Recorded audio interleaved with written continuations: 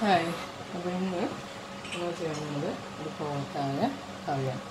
ഈ കോവക്കായ കറി വയ്ക്കാനായിട്ട് ഞാൻ ഒരു ഒരു പത്ത് പോക്കായ ഇങ്ങനെ നാലായിട്ട് കീറി വെച്ചിട്ടുണ്ട്. പത്ത് പോക്കായ നാലായിട്ട് കീറി വെച്ചിട്ടുണ്ട്. പിന്നെ ഞാൻ എടുത്തിരിക്കുന്നത് ഒരു നാല് വെളുത്തുള്ളി. നാല് വെളുത്തുള്ളി അരിഞ്ഞു വെച്ചിട്ടുണ്ട്. പിന്നെ ഒരു മീഡിയം പീസ് ഇത്രയുള്ളൊരു പീസ് ഇഞ്ചി അരിഞ്ഞു വെച്ചിട്ടുണ്ട്. പിന്നെ ഒരു പച്ചമുളക് എടുത്തിട്ടുണ്ട് കറിവേപ്പില മൂന്ന് കൊണ്ട് എടുത്തിട്ടുണ്ട്. കുറച്ച് ഉള്ളി. ഉള്ളി അല്ലെങ്കിൽ സവാള ഇതിപ്പോൾ ഉള്ളി ആണെങ്കിൽ ഒരു രണ്ട് ഉള്ളി എടുത്താൽ മതി. അത്രയാണ് നമുക്ക് ഇതിലേക്ക് ആവശ്യമുള്ള കഷ്ണങ്ങൾ.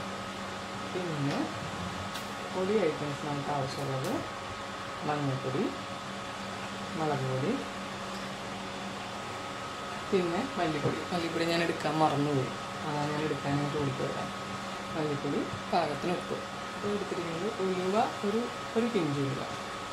മഞ്ഞൾപ്പൊടി അര ടീസ്പൂൺ മഞ്ഞൾപ്പൊടി.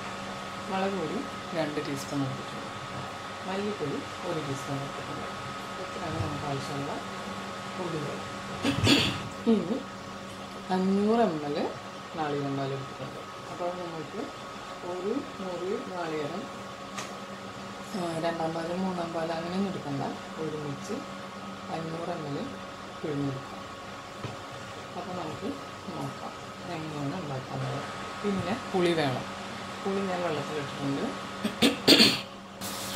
അപ്പോൾ പുളി ഇത്രയാണ് എടുത്തിട്ടുള്ളത്. ഞാൻ ചട്ടി ചൂടാക്കാൻ വെച്ചിട്ടുണ്ട്. നമുക്ക് നോക്കാം. അപ്പോൾ എണ്ണ നല്ല ചൂടാണ്.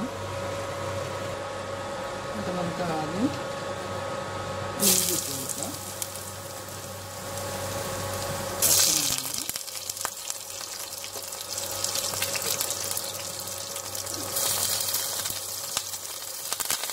കറിവേപ്പില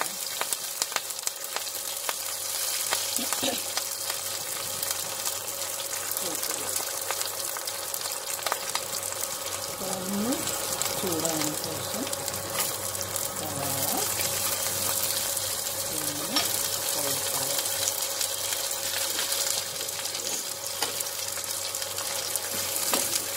കോഴിക്കായ വെച്ച് കിടന്നൊന്ന് മൂക്കണം നന്നായിട്ടൊന്ന് വാടി മൂത്ത് വരണം അതിന് വേണ്ടി നമുക്ക് മൂടി വയ്ക്കാം അപ്പോൾ ഈ കോഴിക്കായ നല്ല വണ്ണം വാടിയിട്ടുണ്ട് അങ്ങനെ അത്യാവശ്യം നന്നായിട്ട് വാടുന്നുണ്ട് നന്നായി വാടിയതിന് ശേഷം നമുക്ക് കുറച്ചുകൂടി നമ്മൾ ഇട്ട് കൊടുക്കണം. നമ്മൾ വെളിച്ചെണ്ണ യൂസ് ചെയ്യണം. അധികമൊന്നുമില്ല കുറച്ച് കാരണം പൊടി ഇടാൻ പോവാണ്. ഒരു ടേബിൾ സ്പൂൺ നമ്മൾ ഇനി നമുക്ക് പൊടി ഇട്ട് കൊടുക്കാം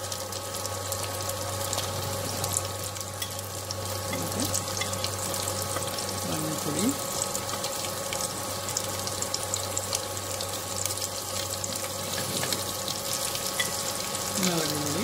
മല്ലിപ്പൊടി ഇത് വളരെ സിമ്പിളായിട്ടുള്ള കറിയാണ്. നല്ല ടേസ്റ്റാണ്.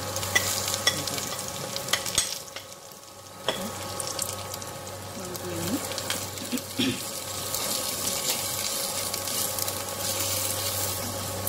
വഴറ്റി എല്ലാവർക്കും ഒന്ന് പിടിച്ചതിന് ശേഷം ഉപ്പിട്ട് കൊടുക്കാം.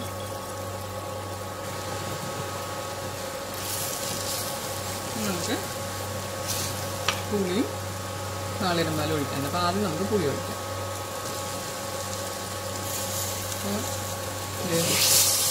പുളി നന്നായിട്ട്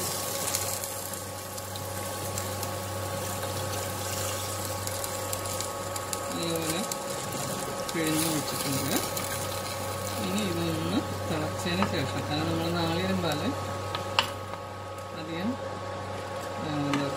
പറയുക തണുപ്പിക്കാതിരിക്കാനായിട്ട് നമുക്ക് ആദ്യം പുളി ഒഴിച്ചിട്ട് ഇതൊന്ന് തിളക്കട്ടെ. തിളച്ചതിന് ശേഷം നാളികേരം പാൽ ഒഴിക്കാം അപ്പോൾ പുളി ഒഴിച്ചിട്ട് നന്നായിട്ട് പിടിച്ചിട്ടുണ്ട്. കഷ്ണങ്ങളൊക്കെ നന്നായി സോഫ്റ്റ് ആയിട്ടുണ്ട്. ഇനി നമുക്ക് നാളികേരം പാൽ ഒഴിച്ചു കൊടുക്കാം. നാളികേരം പാൽ ഒഴിച്ചു കഴിഞ്ഞ് കഴിഞ്ഞാൽ ഇനി കറി സിമ്മിലിട്ടിട്ട് വേണം വേവിക്കാനായിട്ട്. എന്നിട്ട് ഒന്ന് വറ്റണം അപ്പോൾ സിമ്മിലിടാം. സിമ്മിലിട്ടിട്ട് വേവിക്കാം. അപ്പോൾ അതെ കറി റെഡി ആയിട്ടുണ്ട്. കണ്ടില്ലേ? തിളച്ച്. ഇങ്ങനെ നമുക്ക് ഒന്ന് എണ്ണ ഇതേപോലെ തെളിഞ്ഞ് വന്നു കഴിഞ്ഞാൽ നമുക്കിത് ഓഫ് ചെയ്ത് വെക്കാം.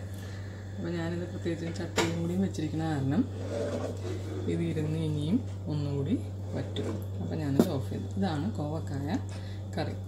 എല്ലാവർക്കും ഈ കറി ഇഷ്ടപ്പെട്ടെന്ന് വിചാരിക്കുന്നു. ഈസിയാണ്. നിങ്ങളെല്ലാവരും ട്രൈ ചെയ്ത് നോക്കുക നിങ്ങൾക്ക് എന്തായാലും ഇഷ്ടപ്പെടും. ചോറിന്റെ കൂടെ ആയാലും അതേപോലെ തന്നെ ചപ്പാത്തിയുടെ കൂടെ ആയാലും ഒക്കെ ഇത് നല്ല കോമ്പിനേഷനാണ് അപ്പോൾ thank you so much like ചെയ്യുക ഷെയർ ചെയ്യുക സബ്സ്ക്രൈബ് ചെയ്യുക. Thank you